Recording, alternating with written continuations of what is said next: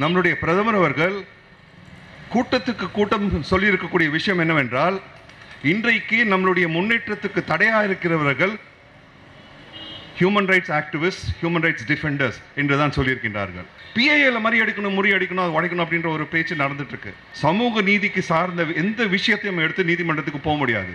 இன்றைக்கு நமக்கு உரிமை இருக்கின்றது நீதிமன்றங்களை நாடி செல்வதற்காக. அந்த நீதி இல்லாமல் இருப்பதற்காக வெறும் போலீஸை வைத்து தடுப்பதற்கு மட்டும் அல்லாமல் இன்றைக்கு ஒரு சட்ட ரீதியாக இந்த ஜட்ஜ்மெண்ட் மூலமாக கொடுக்கப்பட்டிருக்கு. நாளைக்கு யாரும் பொதுநல வழக்கில் எடுத்துகிட்டு போகும்போது அவர்களை கிரிமினலைஸ் செய்வதற்கு வேண்டிய ஒரு லெஜிட்டிமசியை இந்த ஜட்ஜ்மெண்ட் உருவாக்கி இருக்கின்றது அதன் குறியீடராக பிரதமர் மோடி தண்டிக்கப்பட வேண்டும் என்று இந்த அமைப்பு முறையை அதில் அடங்கி அது செய்த குற்றத்தை எதிர்த்து நடத்திய ஒரு வழக்கு. இந்த வழக்கில் வந்து தீசாவை அரெஸ்ட் பண்ணி உள்ளே போடணும்னு உச்சநீதிமன்றம் சென்ற வாரம் சென்ற வெள்ளிக்கிழமை அன்று இந்த தீர்ப்பை வழங்கி உள்ளே போடக்கூடிய பின்னணியில் தான் இந்த கூட்டம் நடைபெறுகின்றது. ஆனால் இந்த கூட்டம் வெறும் தீஸ்தாவையும் ஸ்ரீகுமாரையும் ஜுவேர் அவர்களையும் விடுதலை செய்வதற்காக மட்டுமல்ல. ஏன்னா இன்னைக்கு விஷயம் அவங்கள அரெஸ்ட் பண்ணது ஒரு ஒரு ஒரு விஷயமாக இருந்தாலும் அதற்கு பின்னாடி இருக்கக்கூடிய ஒரு பயங்கரமான ஒரு விஷயத்தை பற்றி தான் நான் உங்கள் முன்னாடி சொல்ல விரும்புகின்றேன்.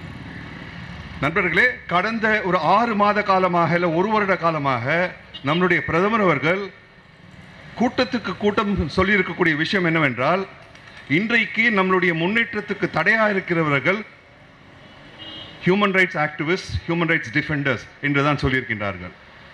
அவர்கள் சனாதன சனாதன தர்மத்தில் இருக்கக்கூடிய அந்த விஷயத்தை திருப்பி திருப்பி சொல்லியிருக்கிறார்கள் இன்றைக்கு நமக்கு தேவை ரைட்ஸ் அல்ல ரெஸ்பான்சிபிலிட்டிஸ் தான்.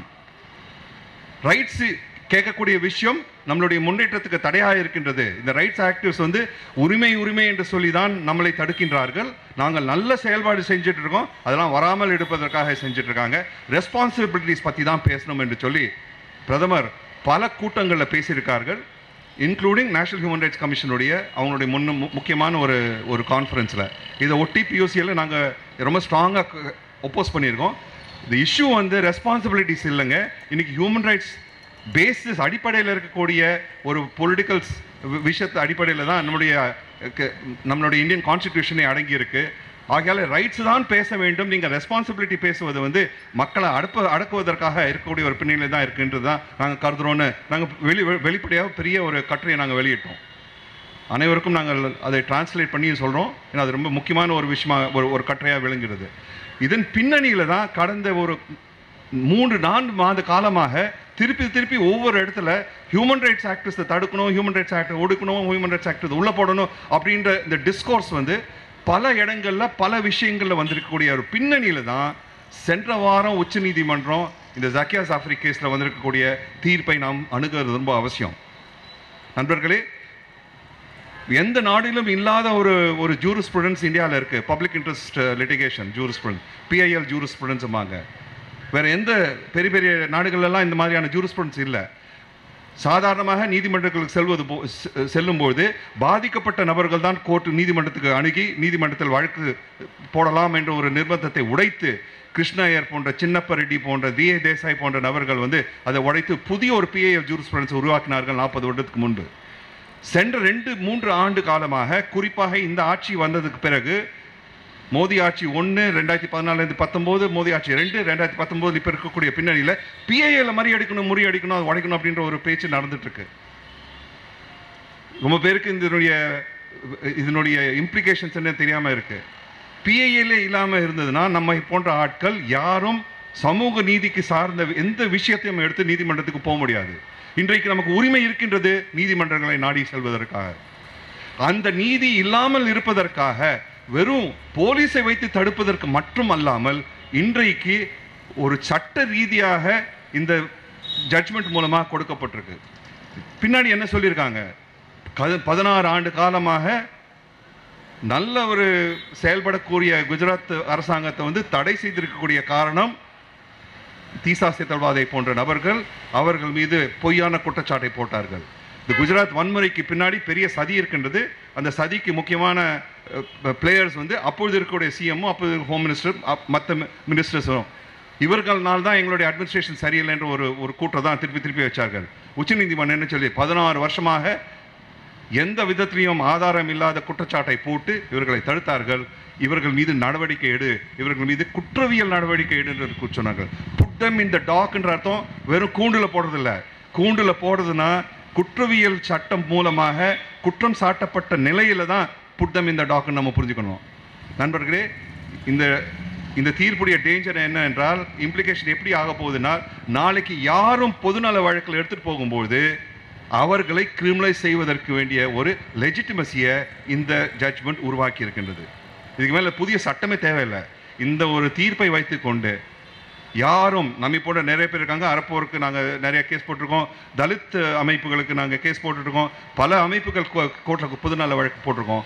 ஏன்னா பாதிக்கப்பட்ட நபர்கள் நிறைய அளவில் வந்து அவங்க குரல் எழுப்புவதற்கோ நீதிமன்றத்துக்கு நாடி வழக்கு போடுவதற்கோ அவங்களுக்கு செல்வாக்கு இல்லாமல் இருக்கலாம் பலம் இல்லாமல் இருக்கலாம் அரசியல் சப்போர்ட் இல்லாமல் இருக்கலாம். அப்பொழுது ஆர்வலர்கள் தான் முன் வந்து மீடியா ஆக்டிவிஸ்ட் முன் வந்து ஆக்டிவிஸ்ட் அகடமிக்ஸ் முன் வந்து அவங்க தான் இந்த கேஸ் எடுத்துகிட்டு போகிறாங்க அவங்க தான் அவங்க பாதிக்கப்பட்ட மக்கள் சார்பாக பொதுநல வழக்குகள் போடுறாங்க. இந்த இந்த வழக்கு மூலமாக அவர்களே குற்றவாளிகள் என்று முதிர போட்டு உ- உச்சநீதிமன்றம் சொல்லியிருக்கின்றது. இதுதான் ஒரு பெரிய அபாயம் நண்பர்களே. மற்ற விஷயங்கள்லாம் பேசியிருக்காங்க. இந்த விஷயம் யாரும் இதை பற்றி ரொம்ப பேசாதவர்னால இதை நம் நம் ம மனசில் வச்சுருக்கணும். நம்மை போன்ற இந்த மாதிரியான கூட்டங்கள் மூலமாக பலனில்லை என்று பார்க்க வேண்டாம். இதே இதே நாளில் பியூசிஎல் சார்ந்த முப்பது மா நகரங்களில் இன்னைக்கு இந்த மாதிரியான இது நடக்குது. தமிழ்நாட்டிலேயே நாலு இடத்துல இன்னைக்கு இருக்குது மதியம் காஞ்சிபுரத்தில் மீட்டிங் இருக்குது கோயம்புத்தூரில் இந்த மாதிரியான போராட்டம் நடந்திருக்கு. மதுரையில் போராட்டம் நடந்திருக்கு. மற்ற அமைப்புகளும் சேர்ந்து நிறைய போராட்டங்கள் நடந்திருக்கின்றன. இன்றைய தேதி முப்பது நகரங்கள் இந்தியாவில் இருக்கக்கூடிய முப்பது நகரங்கள் இந்த மாதிரியான இருந்தன இதன் பின்னணியில் தான் நேத்திக்கு உச்சநீதிமன்றத்தில் நூப்பூர் சர்மாவுடைய வழக்கு போகும்போது உச்சநீதிமன்றம் சொல்லிச்சு அவர் conscience is not satisfied with your explanation Nupur Sharma வந்து அந்த இது சொல்லக்கூடியது வந்து நாங்கள் நாங்கள் ஏற்றுக்க மாட்டோம். நீங்கள் என்ன அவ்வளோ பெரிய ஆளாக நீங்கள் வந்து எந்த போலீஸ் ஸ்டேஷனுக்கு போகாத. மற்றவர்கள் மீது இப்போ வழக்கு போட்டால் உடனே அரெஸ்ட் பண்ணுறாங்க உங்கள் நீங்கள் பிஜேபி ஆட்சியில் இருக்கிறதுனால டெல்லியில் பிஜேபி கண்ட்ரோல் பண்ணதுனால உங்கள் ஸ்போக்ஸ்மேன் வந்திருக்கக்கூடிய ஆட்கள் மேலே கேஸ் போட்டால் இது வரைக்கும் நீங்கள் இன்வெஸ்டிகேட் பண்ணிய ஏன் அப்படின்னு கேள்வி கேட்டிருக்காங்க. நண்பர்களே இதுதான் நம் குரலுடைய வெற்றின்னு நான் கருதுறேன். இதுதான் நம்மளுடைய சக்தி. இந்த சக்தியை தான் நாம் முன்னெடுத்து செல்ல வேண்டும். இன்னைக்கு நூறு பேர் இரநூறு பேர் முந்நூறு பேர் வந்தால் இது மூவாயிரம் பேராக மாற்றணும் ஏன்னா நம்ம குரலில் தான் ஜனநாயகம் இருக்கின்றது நம் குரலில் தான் நம் உரிமைகள் இருக்கின்றது. இதை நம்ம தூங்க விடாம இதை பெருசு பெருசாக எடுத்துகிட்டு போகணும் இந்த விஷயங்களை எடுத்துகிட்டு போகணும்னு சென்று நீங்கள் அன் வந்திருக்கக்கூடிய அனைவருக்கும் நன்றியை தெரிவித்துக் கொண்டு நான் விடைபெறுகின்றேன். நன்றி வணக்கம். ஸ்ரீதா அப்படி என்ன பெரிய தவறை செய்து விட்டார்? பாதிக்கப்பட்டவர்களுக்காக குஜராத் கலவரத்தினுடைய கொடு கரங்களில் உயிர் இழந்தவர்களுக்காக நீதிமன்றத்தில் உண்மையும் நீதியும் அதற்காக போராடுகிற ஒரு அமைப்பை உருவாக்கி அவர் போராடி குற்றவாளிகளுக்கு தண்டனை வாங்கி தருகின்ற ஒரு நீதிக்காக அவர் களத்தில் இறங்கி செயல்பட்டார். பத்தாண்டுகள் தண்டிக்கப்பட்ட அந்த குற்றவாளிகளை கூட இப்போது அத்தனை பேரையும் விடுதலை செய்து விட்டார்கள்.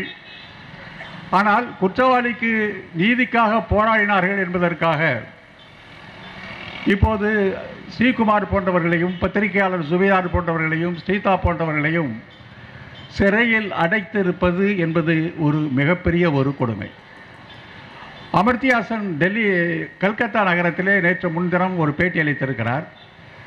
செதல்வாட் கைதை பற்றிய பேட்டி அது. அதில் அவர் சொல்லியிருக்கிறார் த நேஷன் கொலாப்சஸ் என்று அவர் சொல்லியிருக்கிறார். இந்த தேசம் சீர்குலைந்து போய் கொண்டிருக்கிறது. இதற்கு என்ன மாற்று என்று அமர்த்தியாசன் கூறுகிற போது சகிப்புத்தன்மை வேண்டும் என்று பேசிக் கொண்டிருப்பதில் எந்த அர்த்தமும் இனி இந்த நாட்டில் இல்லை. மாறாக இந்துக்கள் இஸ்லாமியர்கள் கிறிஸ்தவர்கள் இணைந்து வாழ்கிற ஒரு வாழ்க்கையை வாழ்ந்து காட்ட வேண்டும் என்பதுதான் இதற்கான சரியான பதில் என்று அமர்த்தியாசன் அவர்கள் கூட சொல்லியிருக்கிறார்கள். இந்தியாவினுடைய பிரதமராக இருக்கிற மோடி அவர்கள் ஜி செவன் நாடுகளுக்கு போய் இந்தியாவிலேயே நாங்கள் கருத்துரிமையை பாதுகாக்கிறோம் இந்தியாவில் கலாச்சார உரிமையை பாதுகாக்கிறோம் என்று சொல்லிவிட்டு வருகிறார். ஆனால் இந்தியாவிலே நிலைமை என்பது முற்றிலும் வேறு ஒன்றாக இருக்கிறது என்பதை சுட்டிக்காட்டி நேற்று ஆங்கில இந்து பத்திரிகை கூட தன்னுடைய தலையங்கத்தில் சுட்டிக்காட்டி இருக்கிறது. செதல்வாட் போராட்டத்தினுடைய இந்த போராட்டத்தினுடைய ஒரு அடிப்படையான பிரச்சனையை நாம் பார்க்க வேண்டும். குற்றவாளிகளுக்கு தண்டனை வாங்கி தர வேண்டும் என்று போராடிய களத்தில் போராடியவர். கடைசியாக குஜராத்தில் இழைக்கப்பட்ட இந்த குற்றம் என்பது அரசு இழைத்த குற்றம். அரசு அமைப்புகள் இணைந்து இழைத்த ஒரு குற்றம். எனவே அரசு அரசு அமைப்புகள் அவைகளில் உள்ளவர்களை தண்டிக்க வேண்டும். அதன் குறியீடராக பிரதமர் மோடி தண்டிக்கப்பட வேண்டும் என்று இந்த அமைப்பு முறையை அதில் அடங்கி அது செய்த குற்றத்தை எதிர்த்து நடத்திய ஒரு வழக்கு. துணிச்சலான ஒரு வழக்கை அவர் தொடர்ந்தார். இப்போது அந்த வழக்கில் வழங்கப்பட்டிருக்கிற தீர்ப்பை பற்றி இங்கே பேசினார்கள். நீதிபதி பரந்தாமன் அவர்கள் பேசுகிறது போல அந்த தீர்ப்பை யார் எழுதினார்கள்? இவர்களை தண்டிக்க வேண்டும் என்ற வரியை சேர்த்து அந்த தீர்ப்பை எழுதியவர்கள் யார் என்ற பெயர் கூட வெளியில் வராமல் மூடி மறைக்கப்பட்டிருக்கிறது என்பதை பரந்தாமன் அவர்கள் சொல்லுகிறார்கள். நூருல் சர்மா வழக்கில் நேற்று உச்சநீதிமன்றம் கடுமையான கண்டனத்தை தெரிவித்திருக்கிறது. ஒரு சிங்கிள் லேடி ஒரு ஒற்றை பெண்மணிதான் இந்த நாட்டில் எரிகிற அத்தனை கலவரத்திற்கும் காரணமானவர். அவர் தேசத்தின் முன் மன்னிப்பு கேட்க வேண்டும் என்று இதே உச்சநீதிமன்றம் நேற்று நூருல் சர்மா தீர்ப்பில் கூறியிருக்கிறது. ஆனால் தீர்ப்பு வந்தவுடன் நூருல் சர்மா பற்றி கூறிய இந்த கருத்தை நீதிமன்றம் பதிவிலிருந்து நீக்க வேண்டும். என்று உடனடியாக நீதிமன்றத்திலே மனு தாக்கல் செய்யப்பட்டிருக்கிறது. ஆனால் நீதிக்காக போராடிய ஒருவரை தண்டிக்க வேண்டும் என்று எழுதப்பட்ட ஒரு தீர்ப்பு. அந்த தீர்ப்பு பற்றி இதுவரை எவரும் வாய் திறக்கவில்லை. எத்தனை தடைகளை அவர் கடந்து வந்திருக்கிறார். அவருடைய பரம்பரை அவருடைய கொள்ளு தாத்தா ஜாலியன் வாலாபாக் படுகொலை நடந்தபோது ஜாலியன் வாலாபாக் படுகொலைக்காக நியமிக்கப்பட்ட ஹட்டன் விசாரணையில் ஒரு உறுப்பினராக இருந்தவர் அவருடைய கொள்ளு தாத்தா. இந்திய அரசின் முதல் அரசு வழக்கறிஞராக இருந்தவர் அவரது தாத்தா.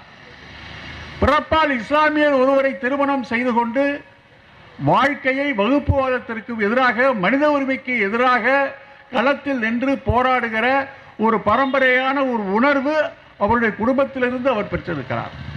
அதனால்தான் அப்படிப்பட்ட ஒரு நீதித்துறை இப்படி மோசமாகிவிடக்கூடாது ஒரு அமைப்பு முறை மோசமாகிவிடக்கூடாது என்பதற்காக தொடரப்பட்ட ஒரு வழக்கு. அதற்கு அவர் சந்தித்த இடர்பாடுகள் எத்தனையோ உண்டு. பெஸ்ட் பேக்கரி வழக்கில் குற்றவாளியை தண்டிப்பதற்கு அவர் வழக்கை நடத்தி கொண்டிருக்கிற போது பாதிக்கப்பட்ட ஒருவரை பிடித்து அந்த பாதிக்கப்பட்ட ஒருவரை என்னை இப்படி ஒரு பொய்யான வாக்குமூலத்தை டிஸ்டா கொடுக்க செய்தார் என்று நீதிமன்றத்திலே சொல்ல வைத்தார்கள். நீதிமன்றத்தில் சொல்ல வைத்து தீஸ்தாவுக்கு எதிராகவே அந்த வழக்கை திருப்பிய போது டெஹல்கா பத்திரிகை அந்த அந்த பாதிக்கப்பட்டவருக்கு பணம் கொடுத்து சொல்ல வைக்கப்பட்டார் என்பதை ஆதாரத்துடன் அம்பலப்படுத்தியதற்கு பிறகு இதே உச்சநீதிமன்றம் அந்த நபருக்கு ஓராண்டு சிறை தண்டனை வழங்கியது. ஆக குற்றவாளிகளை எதிர்த்து நடத்தப்படுகின்ற ஒரு வழக்கில் தனக்கு எதிராக வெளிநாட்டிலிருந்து பணம் வாங்கிவிட்டார். வெளிநாட்டு பணம் வருகிறது. எந்த மடையனாவது அரசாங்கத்தை அரசு அமைப்பை எதிர்த்து போராடுவதற்கு பணம் சம்பாதிப்பானா? அரசை ஏமாற்றி அரசை மோசடி செய்வதற்கு வேண்டுமானால் இந்த நாட்டில் பணம் சம்பாதிப்பதற்கு ஆட்கள் இருக்கிறார்கள்.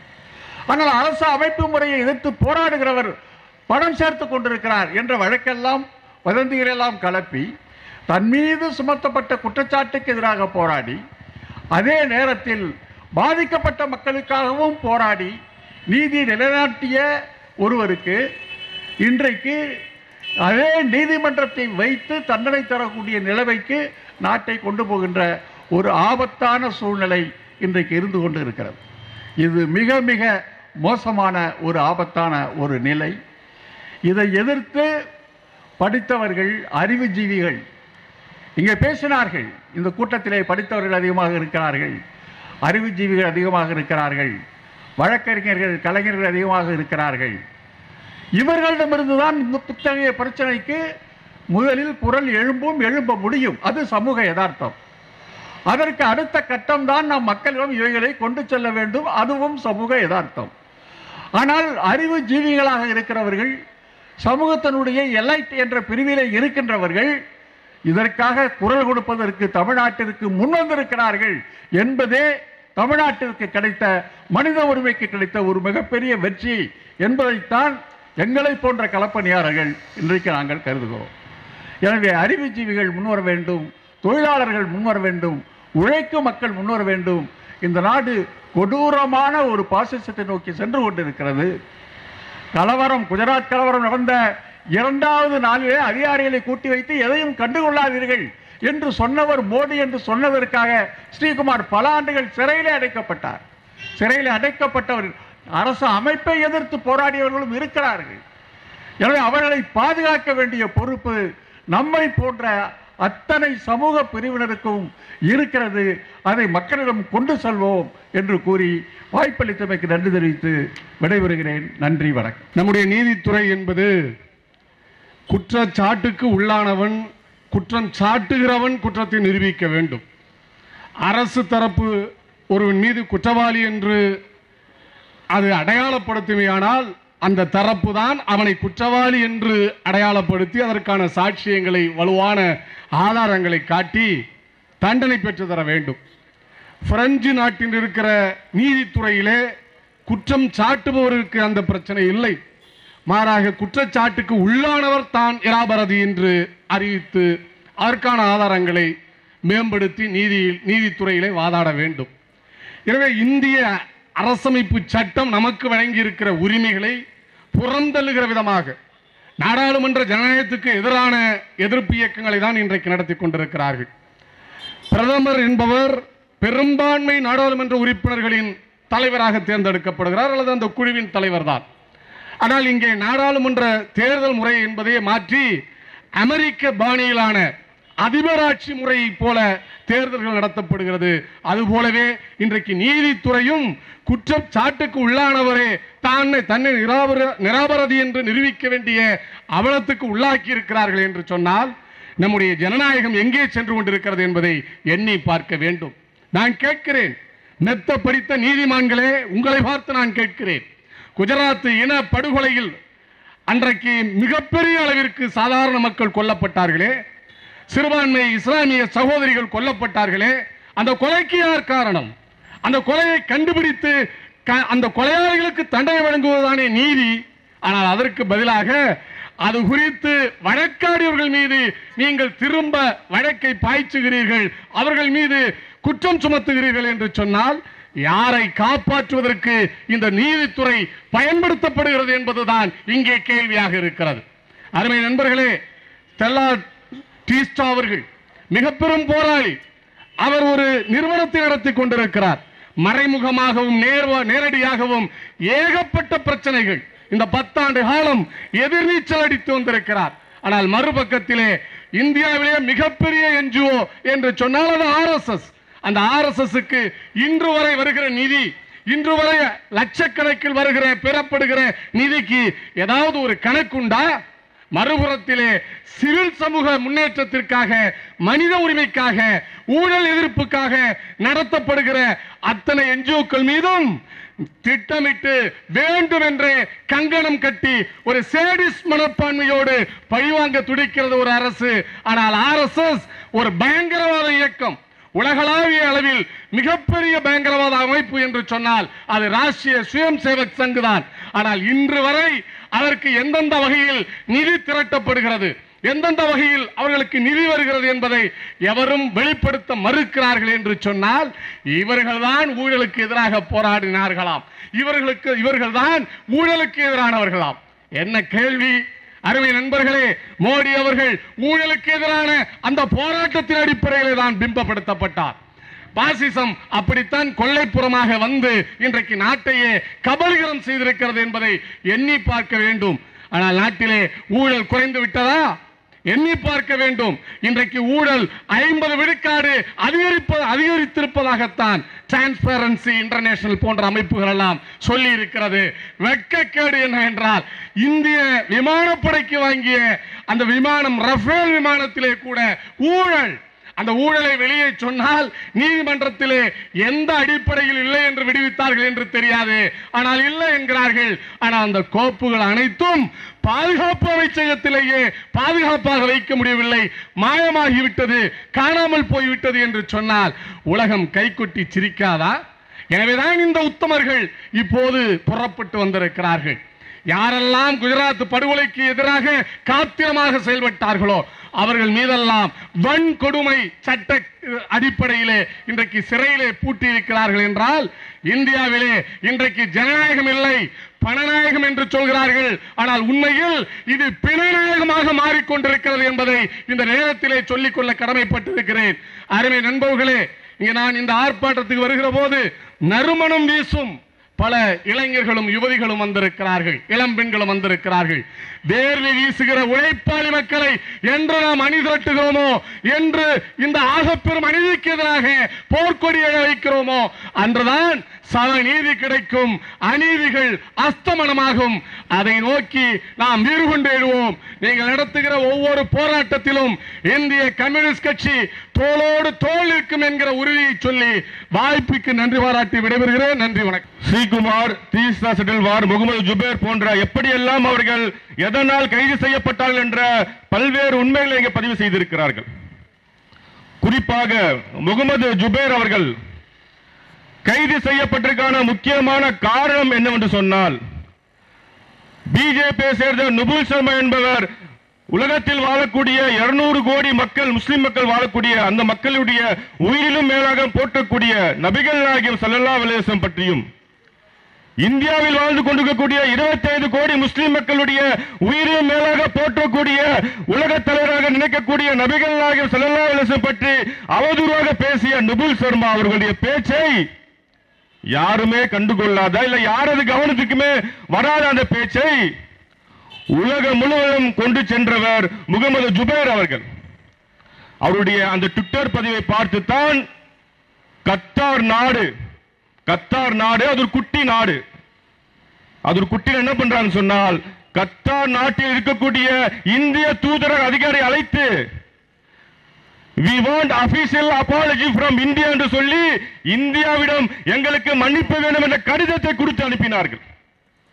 அது மட்டுமல்ல கத்தார் நாட்டிலே அங்க இருக்கக்கூடிய குப்பத்தட்டி ஒன்றிலே மோடியினுடைய படத்தை போட்டு மோடியை செருப்பால் அடிப்பது போல ஒரு பதிவை போட்டு ஒரு படத்தை வெளியிட்டார்கள் கத்தா நாட்டில் இருந்து அந்த படம் என்பது உலகம் முழுவதும் வைரல் ஆயிடுச்சு. இதையெல்லாம் பொறுத்துக் கொள்ள முடியாத காரணத்தில் தான் பொய் வழிக்கிலே முகமது ஜுபைர் அவர்களை கைது செய்திருக்கிறார்கள். நாம் கேட்கின்றோம். எனக்கு முன்னால் பேசுறவர்கள் இங்கே பதிவு செய்திருக்கிறீங்க. கோட்டை பற்றி அவமதித்த எச் ராஜாவை கைது செய்யப்படவில்லை. ஊடகங்களை பற்றி தவறாக பேசிய எஸ் வி சேகரை கைது செய்யப்படவில்லை. நுபூர் சர்மாவை கைது செய்யப்படவில்லை. ஆனால் மக்களுக்காக குரல் கொடுப்பவர்களை தொடர்ந்து இந்த மோடி ஆட்சி மோடி அரசாங்கம் கைது செய்து கொண்டிருக்கின்றது. இதுக்கு முன்னால் பேசியவர்கள் அத்தனை கருத்தும் எனக்கு உடன்பாடு இருக்கின்றது.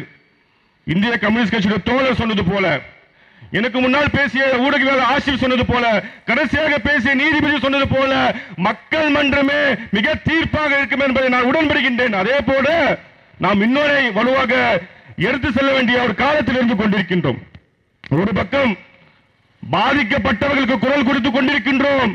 ஒரு பக்கம் ஜனநாயகத்திற்கு ஆதரவாக ஜனநாயகத்தை பாதுகாப்பதற்காக குரல் கொடுத்துக் கொண்டிருக்கின்றோம். இன்னொன்று இன்னைக்கு பிஜேபி என்ன செய்யறான்னு சொன்னால் பிஜேபிக்கு எதிராக யார் பேசினாலும் கைது செய்கிறார்கள். மனித உரிமை ஆர்வலர் கைது செய்கிறார்கள். ராகுல் காந்தி குரல் கொடுத்தால் காங்கிரஸ் இல்லாத இந்தியாவை உருவாக்கும் என்ற பிரகடனம் செய்கிறார்கள். தமிழ்நாட்டில் திராவிட கழகம் திராவிட விடுதலை கழகம் போன்ற தமிழ் அமைப்புகள் திமுக போன்ற அமைப்புகள் பிஜேபிக்கு எதிராக குரல் கொடுத்தால் கழகங்கள் இல்லாத தமிழ்நாட்டை உருவாக்கும் என்று பிரகடனம் செய்கின்றார்கள். நாம் ஒன்னே ஒன்று எடுத்து செல்ல வேண்டும். ஒரு புறம் ஜனநாயகத்துக்கு ஆதரவாக மனித உரிமைகளுக்கு ஆதரவாக போராட வேண்டும். இன்னொரு புறம் எப்படி அவர்கள் காங்கிரஸ் இல்லாத இந்தியா உருவாக்கப்பட வேண்டும் கழகங்கள் இல்லாத இந்தியா உருவாக்க வேண்டும் சொல்கிறார்களோ அதே போல ஆர்எஸ்எஸ் இல்லாத இந்தியாவை உருவாக்கப்பட வேண்டும் சொல்லி ஒரு கொள்கையை முன்னெடுக்க வேண்டும். அதுதான் அவர்களுக்கு பயத்தை ஏற்படுத்தும் அதுதான் அவர்களுக்கு மிகப்பெரிய ஒரு மரணடியாக இருக்கும் என்பதை தெரிவித்துக் கொண்டு நாம் தொடர்ந்து மக்கள் மன்றத்திலே குரல் கொடுப்போம். மனித உரிமைக்கு ஆதரவாக என்றெல்லாம் மக்கள் ஆர்ப்பாட்டம் நடக்கின்றோம் மனிதநேய மக்கள் கட்சி தமிழ்நாடு முஸ்லிம் முன்னேற்ற கழகம் தோளோடு தோல் இருக்கும் தெரிவித்துக் கொண்டு வாய்ப்பளித்து நன்றி கூறி விடைபெறுகிறேன். நன்றி.